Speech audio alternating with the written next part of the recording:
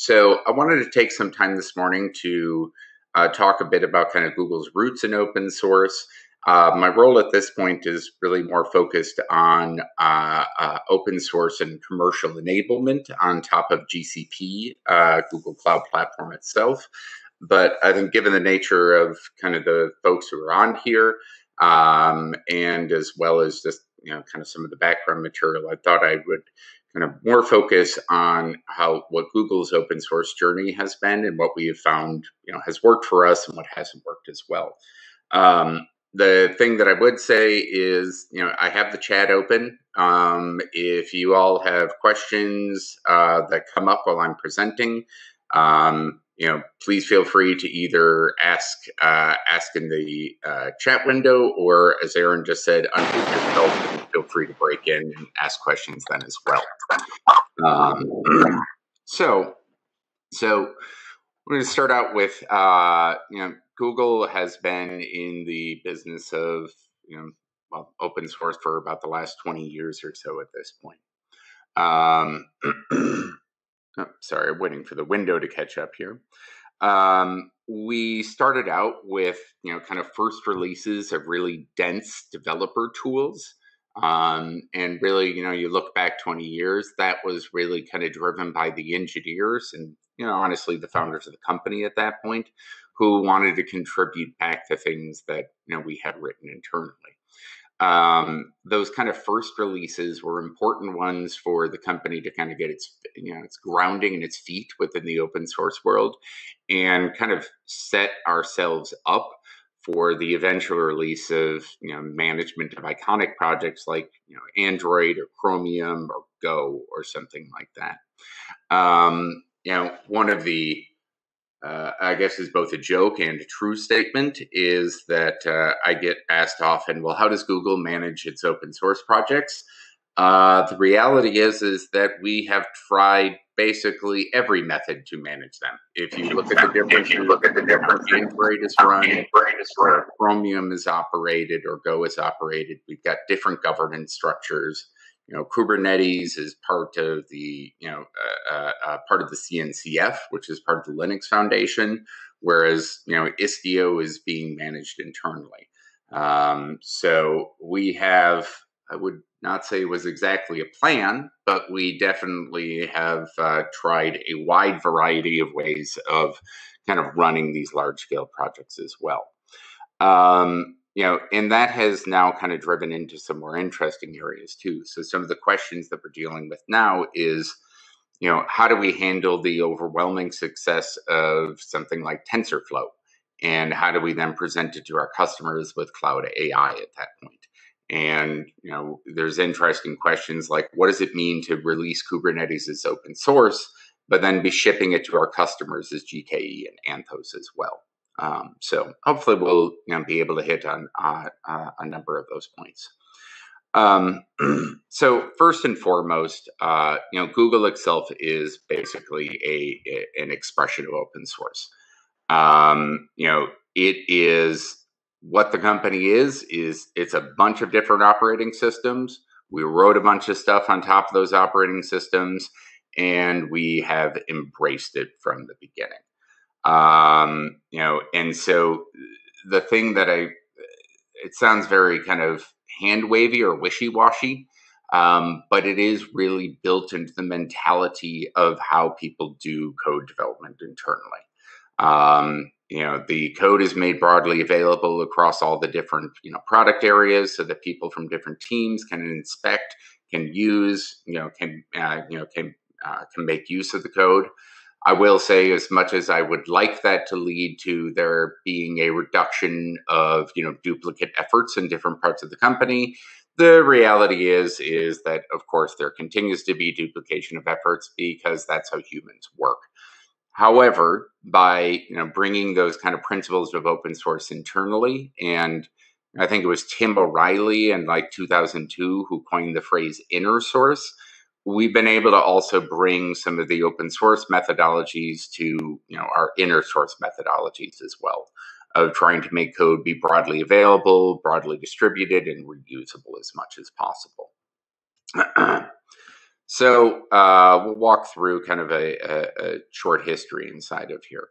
Um, we were, you know, historically speaking, early adopters. What you're looking at here is actually one of the early uh, uh, early pictures of of the network. It was our last heterogeneous network. Um, we started out with writing Python on top of Linux, data subsystems in C, ad systems were built on top of MySQL back in 2001. And so, you know, the roots and the usage of open source go back you know it's well over two decades at this point and that has really kind of been the you know underlying factor in how we have done everything um, so one of the things that i wanted to talk about in particular was when you as a company and i think a lot of your organizations are in this uh, you know state now uh, begin contributing to uh, you know to, to external projects so for the very first one that Google had started with, it was early 2000 and it was contributing back to the Linux kernel. Um, we were very careful about how we used it and what we did. All of the changes were kept in a sub repository. And this is really the time frame where the first uh, OSPO, the Open Source Program Office, started. And uh, the team's very first job at that point was compliance um, because, as I think uh, most of you are well aware, the one of the biggest challenges with working with open source is how do you create a scalable and reusable compliance process, and that has been one of the uh, most important goals and most important actions that the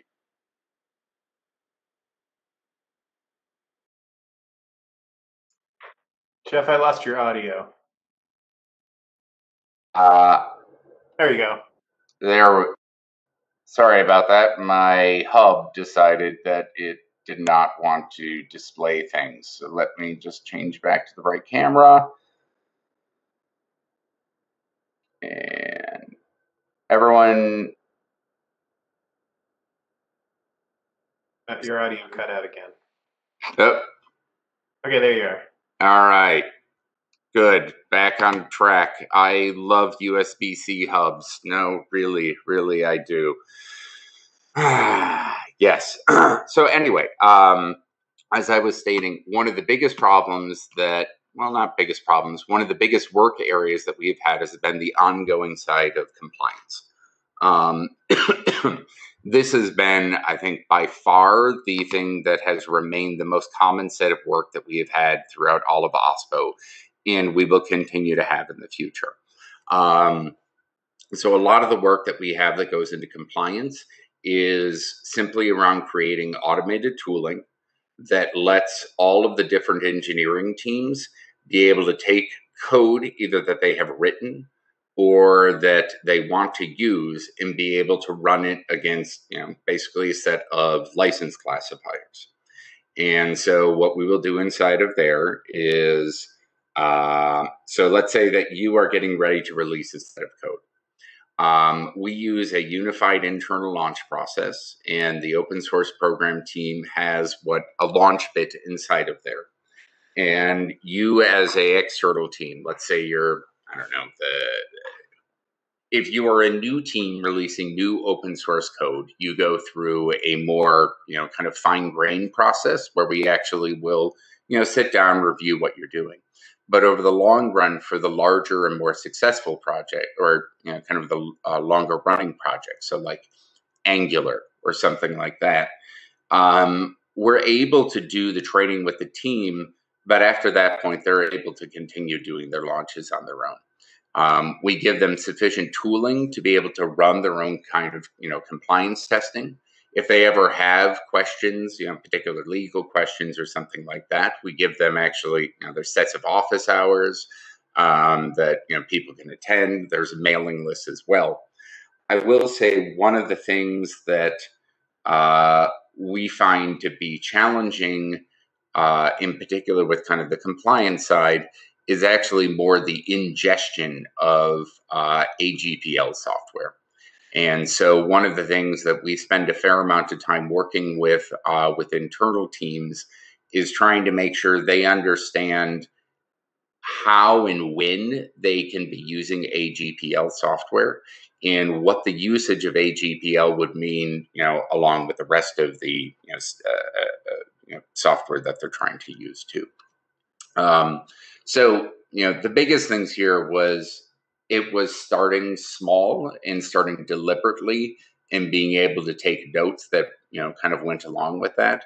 But quickly, and by quickly, I mean in the order of a year or two, we were able to bring enough of the information and approach that we were able to, you know, make that uh, a much broader effort at that point. Um, and so, you know, part of the ways that we built up that muscle strength internally uh, for being just you know, a better company at working with open source was a early commitment uh, to the open source projects that we rely on. And so that was important to us because we wanted to ensure as we relied on all of these, you know, these different pieces of software that they were getting a pipeline of new contributors. The other thing that this meant by running these programs like Summer of Code or Code-in um, was it gave us a deep connection directly with many of those projects that we also relied on as well. And so one of the things that I, I think I would add, uh, you know, to, to your you know, list as you're going through and trying to figure out the best way to chart these waters is get a deep understanding of the open source projects that you rely on and how your team is also going to fit in and work with those as well. Um, both because a you know rising tide floats all boats, but b those are going to be groups and areas that are going to be able to give your broader team a lot of expertise in how to work. Um, you know, so you know, for instance, we you know we've been working with the Apache Foundation since the beginning. Uh, I think we just crossed 20 years of working together at this point. We're the first to sponsor Apache. You know, with the Linux Foundation, we helped form it and we continue to be deeply involved in it sometimes in ways that are all you know happiness and uh, you know rainbows and sometimes having uh, shall we say spirited disagreements over you know future directions of things but you know that is part of the nature of at least working within the broader open source world. Um, so you know, as we have continued to grow, we release a lot of projects. So this data point is actually well now out of date because one of the things that we have been impacted with due to COVID 19 uh, is we had to change the entire intern process for this uh, year. So normally we have about 1,100 undergrad interns. This year they are all working from home and you know have limited access to our corporate hardware.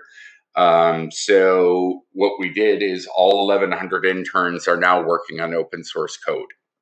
And what that meant is all the teams that were taking the interns then had to either choose new prod, you know, new areas for them to work on that ha- were previously open sourced or open source the code. Um, much to our I guess I would say, pleasant surprise. Uh, we found that the vast majority of all of the different product areas that were looking for interns went down the route of actually open sourcing the code that they had. Um, so we suddenly went from, I guess we're up to like 20,000 projects or something like that. But it's important to note that a bunch of those projects are just kind of a partial release of software, primarily for the purpose of making it so that the interns would be able to work on it. Um, and so, one of the things that I would add that you know, come, one of the things that makes running a successful open source program office uh, challenging is figuring out where you're going to be able to put your actual resources and you know kind of which projects are you going to support with it and so what we've done with a lot of things like these intern programs is it's really kind of fire and forget process where it's okay, you're taking this code, you're going to release it. We are going to give you a hard set of guidelines for the licenses that you can use to release it. You need to run these things through the compliance engine, make sure that it doesn't violate anything inside of there. But we're not doing a lot of kind of hand build support that goes beyond that. so, uh, and I guess the other thing I, I should add at this point is uh, currently, we've got like 3,100 kind of seven day actives on the different projects that are associated with it. I would say as as these as your own program offices are getting up and running, those those statistics like seven day actives or other things like that, they're useful to have, but you always need to be able to ground that in you know what the actual amount of audience interest is for you know something like that. Um, you know, like if your potential addressable audience is like a thousand people at a thousand different organizations, well, then you know having a hundred seven day actives is a heck of a good number at that point. um, so one of the questions that I often end up having to address is, you know, what are the motivations for you know source code and release? Um, because you know, and I can tell from some of the names of folks on here who I've worked with before, these are questions that you all have seen over the last, you know, 10, 20 years of what's the value in contributing to open source? We're not going to make money off of this. I don't see any point in doing this. Isn't this additional time, work, things like that? Um, you know, the truth or reality is is that yes, releasing code as open source is uh, extra work you know, going through the license classification, uh, dealing with, you know, community feedback and issues that are addressed, you know, uh, that come up from that. That is all definitely additional work. Um, however, the thing is, is that you know it's it's the base value of open source. By the code being open, we can drill down and repair our uh, and enhance our own services. That's true for other companies that would be using code that we've released it is also true for us using code that has been released by you know uh, another organization at that point. Um, using open source has allowed us in the past to do something out of the ordinary. We can use that source code without showing our hand in what we're trying to do at that point. Um, and so this kind of contribution back to open source is, you know, really opened up a lot of kind of experimental ways for us to work with this as well. The other thing, and this is particularly true, you know, for instance, if you look at Kubernetes, uh, no one is incentivized to hurt us. So, in particular, for organizations like you know this group, for instance, or other kind of more uh, industry-focused groups, finding areas of open source projects where that source code means that you relieve a potential kind of chink in the armor or weakness it's uh, I, I, guess it's co-option by cooperation. I should probably make that a uh, an entry in the slide. I like that phrase. Um, but removing that kind of incentive to you know have that competitive pressure is something that makes an appreciable difference. You know, at some at some level, the release of Android is also about ensuring that you know we have constructed a, a big enough moat around Android that there isn't a competing, you know, uh, uh, mobile operating system that that would displace us, because frankly, even a Google Play decoupled Android is still a better thing for Google than an entirely different, you know, mobile operating system at that point. Um, the other thing that open source means is that we can control our destiny. Um, you know, that means yes, Kubernetes, as I said at the beginning, Kubernetes is part of the CNCF. However, we also release Kubernetes as GKE as well. So by you know donating Kubernetes to the CNCF, we removed that kind of pain point of incentivization to hurt us and GCP at that point, while still preserving our ability to you know kind of innovate and uh, move things forward as well. Um, the last part that you know I think the influence computer science and industry and the kind of Google ethic. Uh, I could probably remove Google ethic and just say kind of um, you know software development writ large. Um, it you know there is a study that I was involved with with Karim Lakhani, who is still at MIT now. That is got to be almost 20 years old. But one of the one of the biggest outcomes from the survey was most open source developers identified the work that they did as you know their primary creative passion and you know compared it to you know writing music or writing poetry you know which well, thankfully for most of us, uh, turns out writing software pays a lot more than writing poetry or music. So that's worked out better for me. Um, but the thing is, is that people are people are motivated by you know creative interest in what they're working on and being able to write an open source code being able to make it you know available is not the primary motivator for everybody. But for most people it makes a good point. Thank you tony. And it's good to see you again by the way. Uh yes yes. Oh Karim. He's such a good person. Um yes tony just corrected me. He is at hbs um, it was his PhD that was MIT with Eric von Hippel, who is still a wonderful person. Um, anyway, so uh, let's see. So, one of the things that does come true with these motivations is, like, for instance, working within the cloud space, we're trying to compete upon performance of GCP rather than the vendor lock in side. And one of the ways that we can make that point is by you know, contributing Kubernetes to the CNCF at that point. Um, so let me kind of consolidate down, you know, these different ways that we operate. Um, so within Google itself, we've got, well, as I half jokingly said earlier, we've essentially tried every method of managing large scale open source projects. That was definitely not planned, but here we are.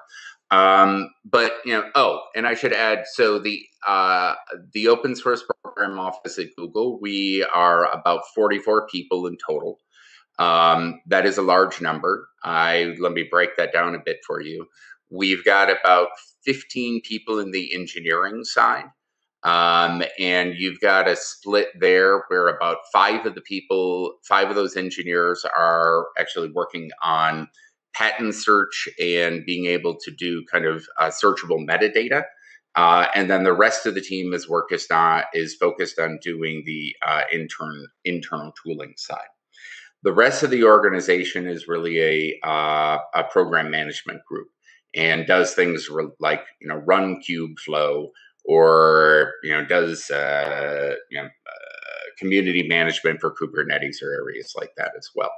Um, so we've got a good sized team. The problem is, is that's still not anything close to servicing all of the needs that people have, you know, across all of Google.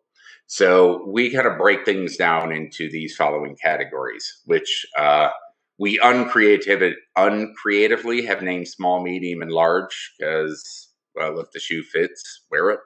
Um, so we've got this example of small, and these are API examples this is really, uh, I would say, about 60% amount of source releases that we see coming through.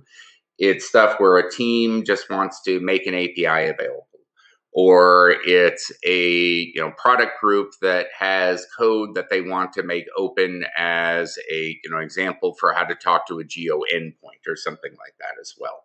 Or sometimes it's simply a small product that um, you know, for example uh, there is, you look this up because I'm not making this up. One of the uh, products that we released is called Cauliflower Vest. It's an anagram for File Vault Key Escrow um, because, of course, you want to use anagrams for that. Um, that was a small project that we wrote internally that addressed essentially a uh, feature oversight within uh, Mac OS's File Vault and we use it as a way we released it to the world. It lets a enterprise do the key escrow management for file vault on the mac letting you run a mac fleet at scale at that point. And that's kind of a good example of you know some of these where it goes from small to medium. You know medium are really teams that are more like five to ten people on a team.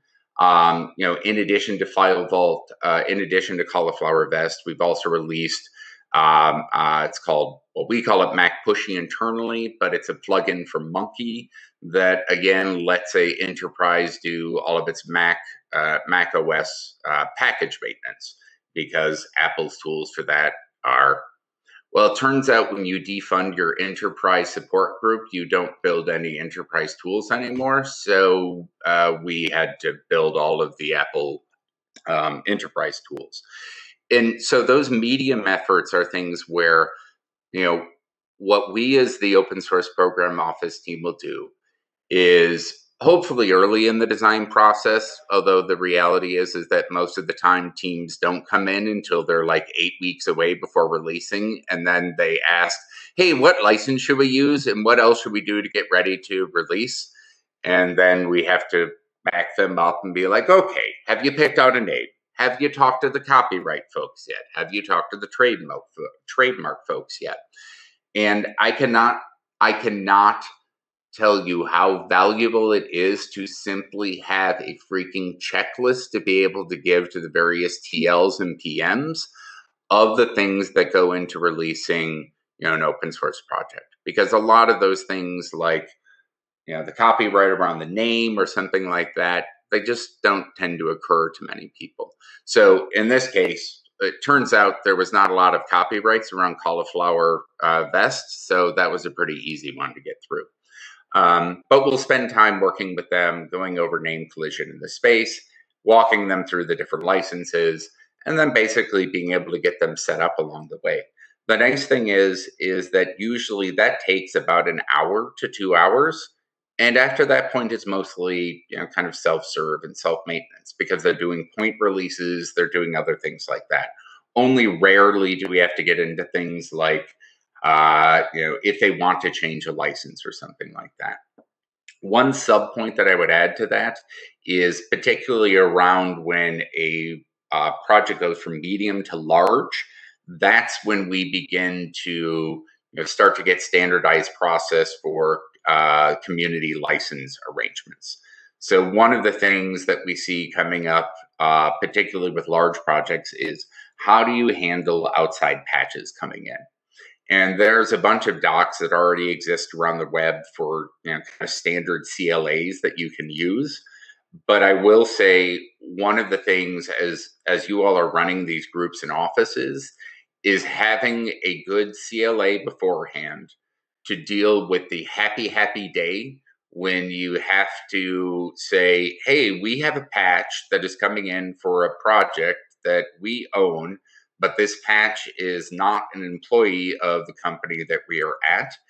Having a clear, easy to use CLA that you know, assigns the you know assigns the the copyright at that point is something that is going to make your your lives and your lawyers' lives immeasurably easier at that point as well. Um, so that is kind of an example of part of what we talk about with these large frameworks. So when I talk about large projects, I'm talking about everything from like Go and Chromium size to Angular to, you know, one point part of GWT was part of this as well. And this is the area that, you know, uh, most of the folks on here are all at pretty large companies and know all the joys and pleasures that come with dealing with large companies at that size. This is where it becomes kind of a large company thing. You know, you begin to talk about commitments of headcount over the course of, you know, two to three years. What does community support end up looking like? And I wish that I could say that I had a one size, you know, one size fits all model for this. The reality is that it is highly variable. You know, what Android, what, you know, the Android uh, ASOP, Android, the open source project needs they have a very different set of needs that uh, you know for support that they have uh, than what Kubernetes needs at that point. And uh, really, the role that I think most of the folks on this call will end up playing is going to be stuff around how do you differentiate and how do you talk through these different models with each of these area leads. I think the you know the the best advice that I can give is trying to ground these strategic goals within kind of open source as a framework will make for better long term success. But again, this is one of those things where the needs of these large projects really does end up influencing a lot of how the work that gets done. So, you know, just to be completely transparent about it, what that means for us internally is that, uh, let's say for TensorFlow, um, we within OSPO do almost all of the external kind of work associated with TensorFlow. You know, we uh, you know we've run the conferences, we do the you know we run what we run the events, run the user groups, we handle all of that part. For Chromium, we give the Chromium team kind of the licensing and tooling support. We also run the whole GitHub instance and everything like that uh, uh, uh, for them. But aside from that, they essentially we are we get called to do consulting for them, but they really run everything on the ground and everything uh, like that. So uh, it can be a highly variable model, is probably a good way to put it. Um, I am taking more time talking than I thought I would, so we're now going to enter some of the speed round of things so we can get to some of the questions. Um, this kind of gives a example of where we're at well, I guess actually where we were at towards the end of 2019 at this point. Uh, this is a number that we see increasing, uh, obviously. Um, in particular, with the uh, over the last year, we have seen more and more of our internal open source projects just moving directly on top of GitHub. Um, you know, frankly, that of course, now that GitHub is owned by Microsoft, that is giving us some degree of, you know, the question is, how dependent do you want to be upon a product that a competitor says they will run at arm's length, but how long do you trust them to run at arm's length? That said, the amount of, you know, the tooling that GitHub provides, their focus now on providing better enterprise support has really made it a no-brainer in many ways uh, for people to be able to, you know, to be using GitHub. Um, so Google contributions on GitHub. Uh, over this has actually been well part of both contract negotiations and uh, internal tooling support that we've been doing.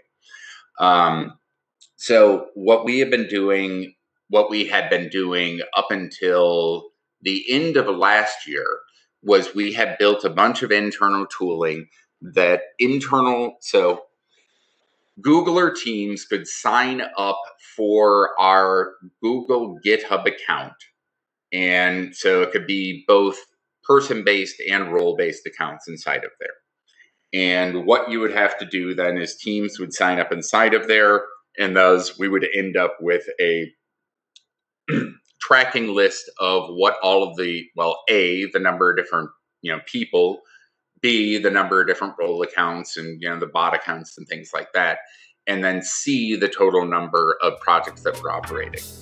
Um, GitHub's backend or its ability to you know kind of give us better data about what people have been doing has been improving quite a bit over the last year.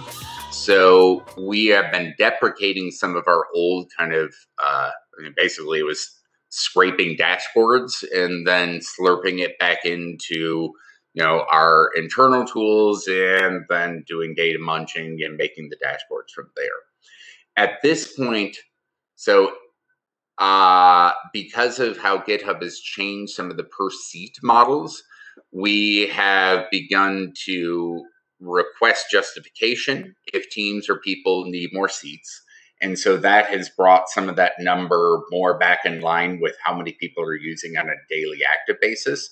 But we are mostly just pulling the data out by having a, um, because essentially we have an internal gateway where if you're going to be doing Google development, you signed up through there. We know who all the projects are, and then we can pull the, you know, pull all of that information out of GitHub at that point. Um, one of the things that I will file from this that we have been talking about is actually trying to release a bunch of the tools that we have written to manage Google's GitHub work. I'm just trying to make sure I said that sentence correct. I think I did, but the T, yeah, the, the too long, uh, the shorter version of that is uh, open sourcing the tools that we manage to that we use to manage Google's open source efforts. Yes. Yes, I said all of those things correctly. And it sounds like that is probably something that would be of use and interest to folks on here as well. Um, this is just kind of I, I can breeze through this next one. Some of the example the projects that we are focused on now. I think one of the things that is interesting to note here is that you can see kind of where the company's you know, the company's focus has really remained on for our flagship open source projects has really been around kind of infrastructure work and enabling other uh, you know, teams, people's companies to build on top of there. I think at least in the 25 years that I've been involved in open source, that has really been the you know kind of the, the area that has made open source most successful has been you know kind of focusing on these enabling platforms as well. Um, so this is actually, I guess, nominally my day job, so I should be spending more time focusing on this part. Um, but I'll I'll just use two and a half minutes on it. Um, the focus that that the company is really trying to take now, and and as I referred to earlier, you know, open source contributing Kubernetes uh, is trying to compete around performance rather than you know vendor lock-in. Um, you know, it's obviously no secret that GCP wants to, you know, is competing with both Azure and AWS. Part of how, uh, part of how we think that we can, uh, you know, at least move up into being in the uh, top two inside of there is going to be around prodigious use of open source and making it, uh, you know, kind of a core part of the enabling systems one of the things that I would love to you know, be able to hear from you all about, whether it's here or whether it's a you know, email afterwards, is what the critical shortcomings are that that you all see, um, because we want to be able to try to build and address those within uh, address those uh, within GCP. Again, for most of the folks who uh, you know are on here, this is not going to come as new information or anything like that. Now, the shift, especially in cloud and enterprise, has been increasing usage of uh, open source software. That's been at least the last you know 25 years, and I see no reason that it's going to slow down. I think even taking into account things like the current, uh, you know, kind of Mongo versus AWS and some of the uh, uh, other drama that is happening within the broader open source world it's still that's that's kind of a sideshow to the main event, which is going to be the you know kind of continued commodification of software by this combination of open source and cloud at the same time. Um, my email address is on there if you also have other questions or want to get more specific information or of course i'm happy to you know talk with you know uh, y'all individually or with your teams or companies as well inside of there but wanted to make sure we had some time for follow up questions as well too. Um, and I'm going to leave this up. Yes, I can shift this tab and see you all. There we go. Awesome. Thank you so much, Jeff. I'm sure yeah. folks have questions, so um, please feel free to unmute yourself and uh, let the questions fly.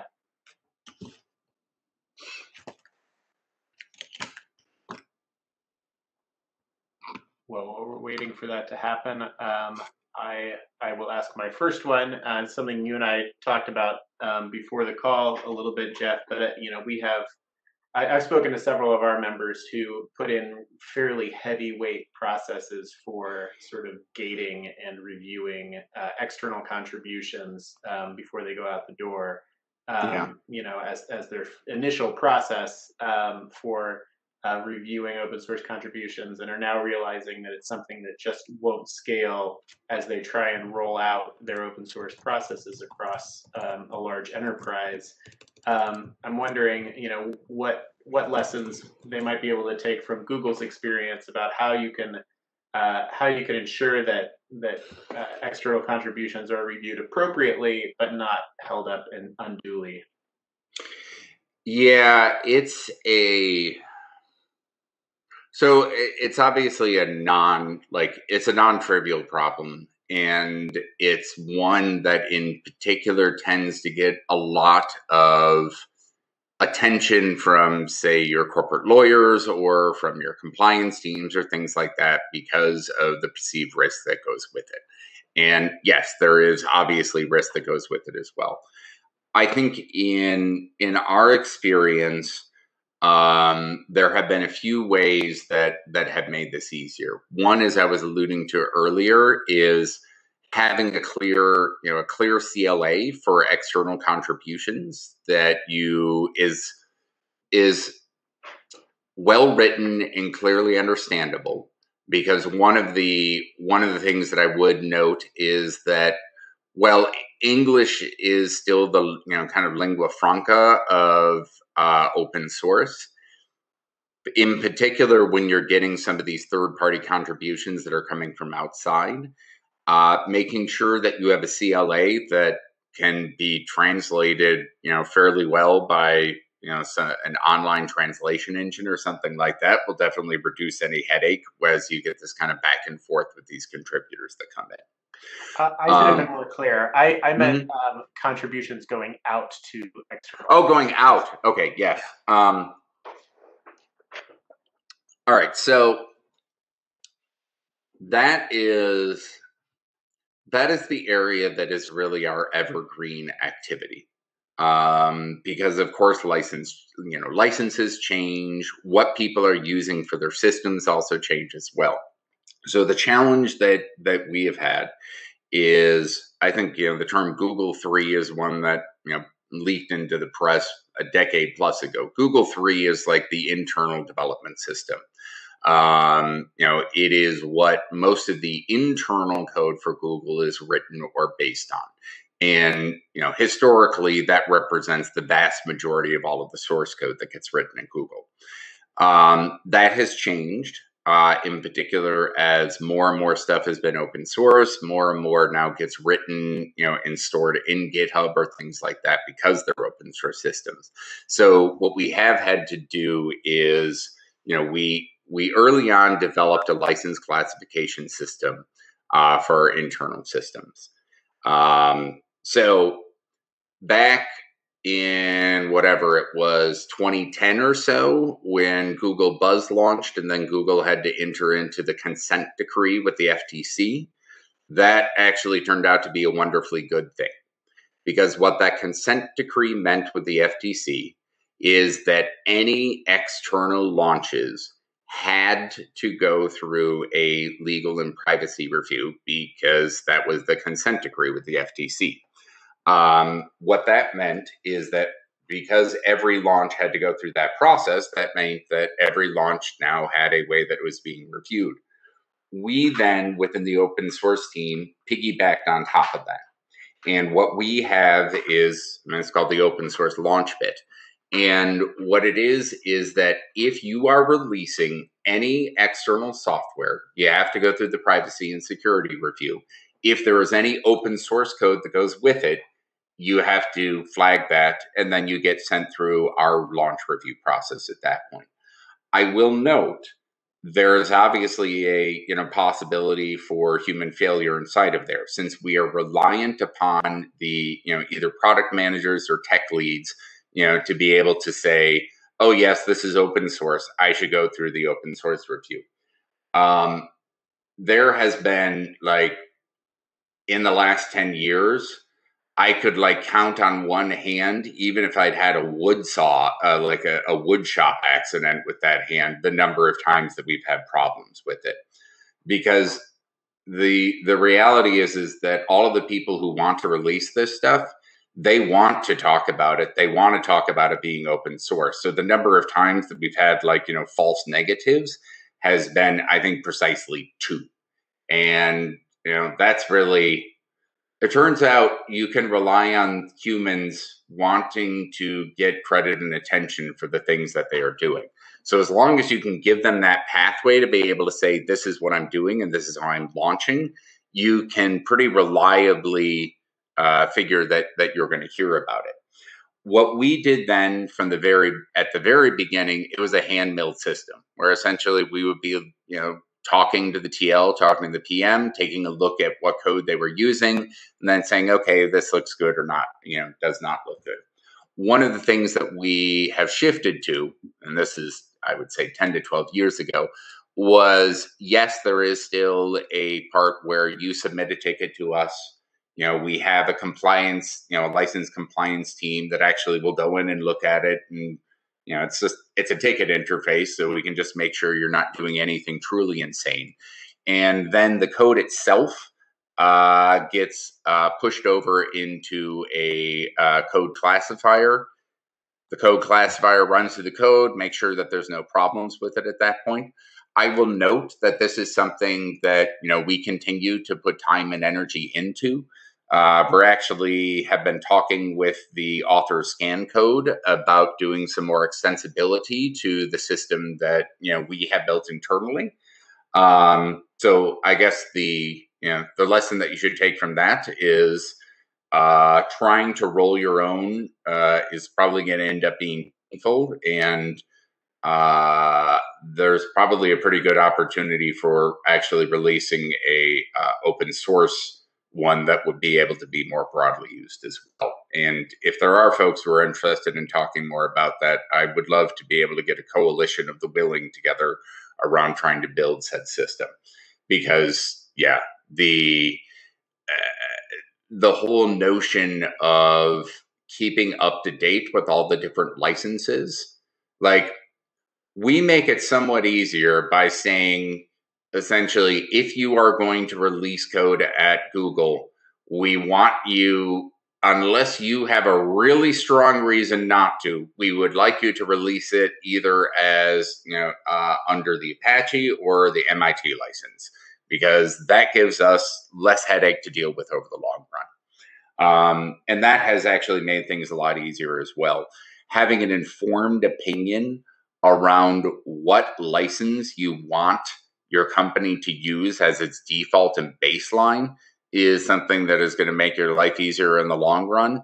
And honestly, using stuff like you know the BSD or MI you know MIT license also is going to make life easier for you in the long run as well too. Um, let's see. So Mike, I see new to data availability to the advances AI. Ah, data. So data's a fun one um, because there's actually literally a email chain that I am dealing with right now about that.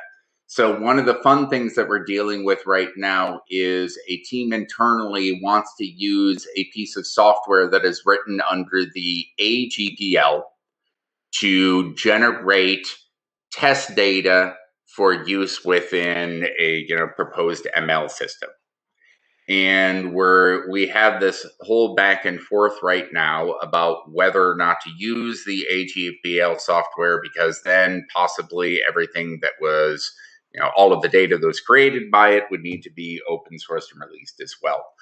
Um, so, Mike, uh, the real, I guess I would say the answer to that is we're getting there, but it's been a more fraught process than we would have thought. Um, so, speaking completely uh, candidly, there has been enough news over the last kind of couple years about training AI and ML data sets and implicit bias that exists in previous data sets that that has put a uh, put put the brakes on wanting to release a lot of these broad training sets. And that mostly comes around wanting to ensure that the data sets that are released are actually free of any implicit bias that is associated with that.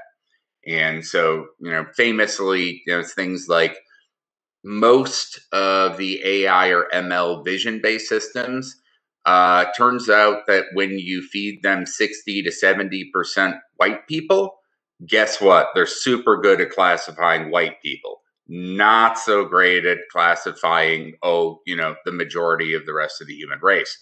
Um, and so a lot of what we've been trying to do is make sure that the data that we release is actually along those lines is stuff that is actually going to be functionally useful and that we're not baking in some of these biases from the very beginning.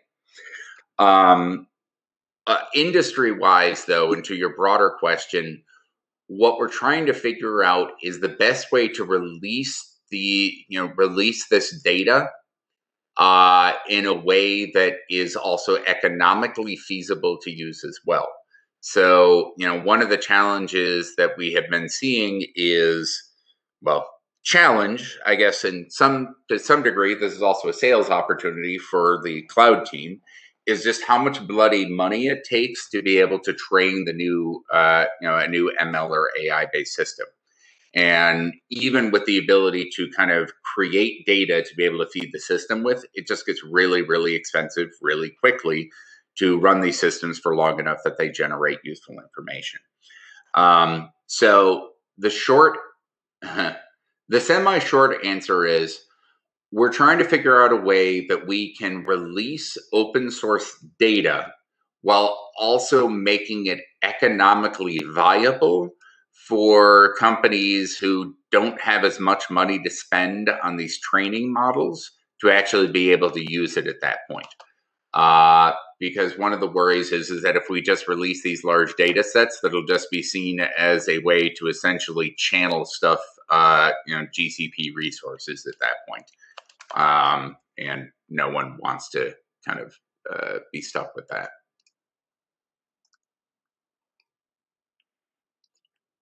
Great, thank you so much. Mm-hmm. Of course. Uh, anybody else? Questions?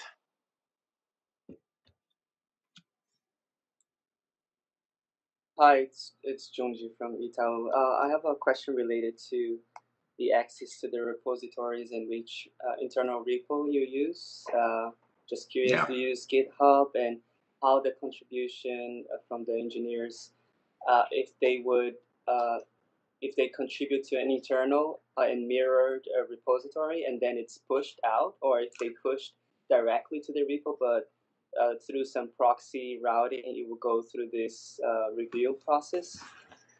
Yeah. So at this point, um, they are for they are decoupled systems. So if you are working in Google Three, uh, which is like I mean, originally it was a, you know, so originally going back a long time ago, that was all based on Perforce. It now it was replaced a decade plus ago with a internal replacement uh, for version control.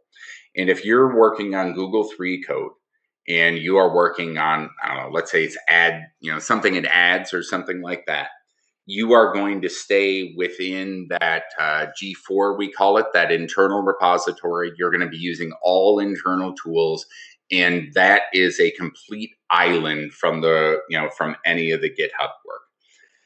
Anything that is going to be over on GitHub is going to be only open source projects can be using that for development at this point. And there is a proxy, like we do use a proxy for people to be able to connect to that, but that's really just for like user authentication or things like that.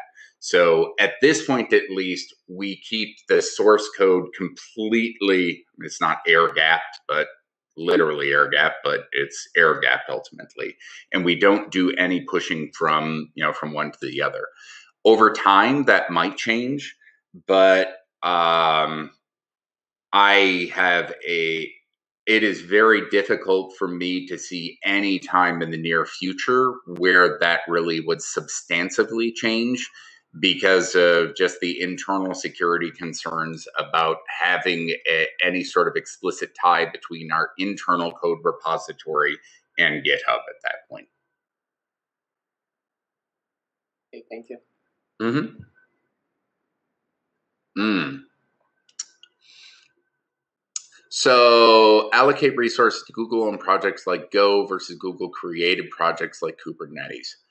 Uh, so the real answer to that is it varies, which is not a helpful answer. So let me unpack that a little bit. Um, so the reality is is that uh, most of those decisions kind of come up we try to not ship our org chart would be the first answer to that question. And, you know, as any large company, of course, that is always the worry is a, you know, a director, an engineering director who is responsible for Go may just happen to have more headcount open than the one who is responsible for Kubernetes. Um, and that really isn't how things should, you know, operate. Um, the functionally speaking, the company has gotten a lot more disciplined, in particular over the last, uh, I would say, four years, in how we actually do kind of do effort tracking overall uh, across all the different engineering efforts. So, to you know, again, being completely transparent, four years ago, it would have been incredibly difficult for me to actually answer with any degree of reasonableness how many people we had working on Go versus how many people we had working on Kubernetes versus how many people we had working on you know Chromium or something like that. So one of the first things that we did was actually just build better tooling to be able to track who the hell was working on what in what areas. Uh, I will be uh, uh, our, our ability to we're much better now at being able to track kind of people who are working on areas the honest truth is is that then trying to marry that data with things like operating expenses is just spreadsheets at the end of the day and people like me having to chase people down and nag them and ask them for resources. Um, and what we end up doing within the open source program office is because we have the broadest view of open source across google is that we end up kind of being the shepherd group that says here's all the different groups, including OSPO, including the engineers and all these teams that are working on this particular effort. You know, so it, say it's Kubernetes. And so we'd be like, well, we've got three people on community management and there's 20 people in the engineering team. And obviously I'm making these numbers up, but you know, we'll put together these kind of if you think back to that small, medium, large framework, we do like essentially a competitive analysis for those large projects and then it's really during planning cycle is making sure that it gets in front of the appropriate you know vps one of the things that the company has done that has helped uh, some of this is really consolidating some of these projects.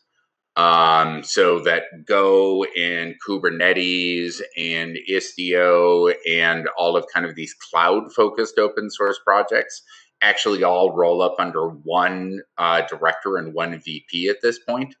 But the truthful, like the reality is, is like the decisions that we make around Kubernetes and Go have no impact at all in terms of how much support, say, Angular is going to get or something like that, because it's just being funded out of a whole different part of the company.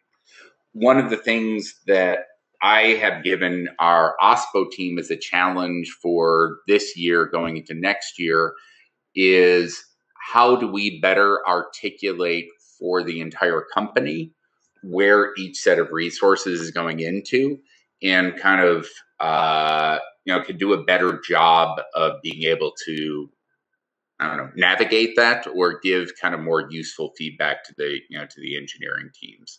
But the short answer to it is we built better tooling to track what people were doing. Um, we, within the OSPO team, uh, track the efforts across the company, and then consolidation of the engineering reporting lines made it where we got to much saner choices about what was being done. To answer the last part of the question about outside projects versus internal, a lot of that really comes down to what I was referring to at the very beginning of we make sure that we get broad representation of Googlers across all the different kind of technical or you know uh, boards of the open source projects that matter to us. And they really become advocates for no we shouldn't be putting these five heads into go. This work that needs to go into maven uh, really matters and so we called that whole work stream kind of the upstream contributor work stream. And really, the effort over the last two years has been trying to turn that into kind of a top tier uh, voice within all of the planning groups.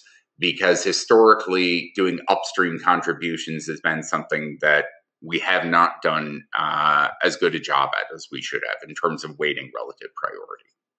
Um, again, I, Uh, BatesJ at google.com. I uh, be happy to talk with any and any and all of you. Uh, I realize I'm over time though, so uh, thank you all for for the time. Jeff, thank you so much. This has been incredibly informative. I feel like we've gone on for another couple of hours, but I will I will spare you. But maybe maybe we'll invite you back soon. I really appreciate the generous offer to speak with folks one on one, and and I'm sure you'll be taken up on it. So uh, thanks so much, Jeff. That sounds great. Thank you so much, folks, and I'll I'll look forward to uh, talking to some of you who I haven't seen for a while again, and some of you who uh, hopefully I will be able to talk to. But have yourself a great day. All right, you too. Thanks, everyone. Thank you. Bye bye.